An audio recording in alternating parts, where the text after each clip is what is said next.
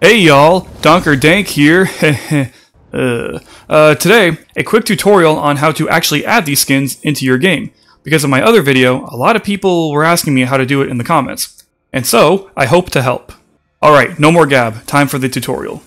And by the way, this tutorial is under the assumption that you already have the season pass for the game, which is always on sale, so hopefully this won't be an issue. Alright, first things first, you gotta go to Nexus Mods and find the Arkham Knight page, obviously. Then, you gotta find a skin that you want. It can be for any of the playable characters, but aim for the mods that say New Suit Slot. I will explain later. But yeah, same process between all characters. And for today's guide, we are downloading the Arkham City skin for Robin. That seemed to be the popular choice from that previous video. But yeah, just slow download that bad boy. It'll be a zip folder, so bring your zip folder to wherever you want. Keep it in downloads, bring it to desktop, or a special mods folder, whatever. I personally keep all of my mods very well organized, but that's just me, I'm a weirdo. What does matter, however, is where you're going to paste this folder. So go to Steam and to Arkham Knight and browse local files. If you don't have this game on Steam, uh, there are other ways of finding those files, but basically you want to be here.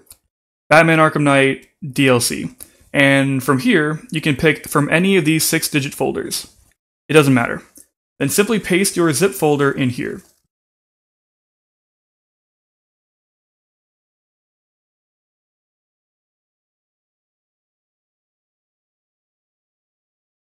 And then unzip that bad boy.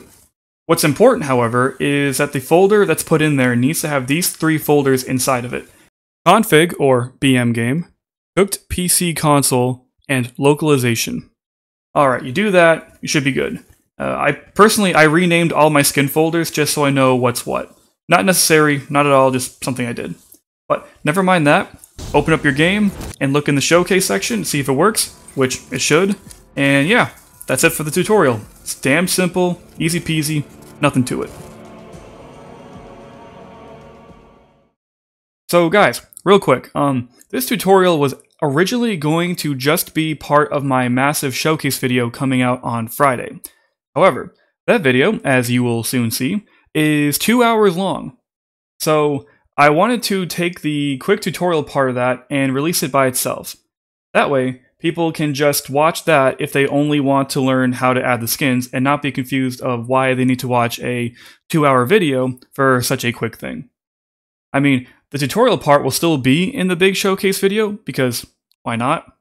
But I want to give you a quick and simple video for your convenience. Alright, that's all I got. Uh, stay tuned for my Arkham Knight custom skin showcase in a few days. Peace.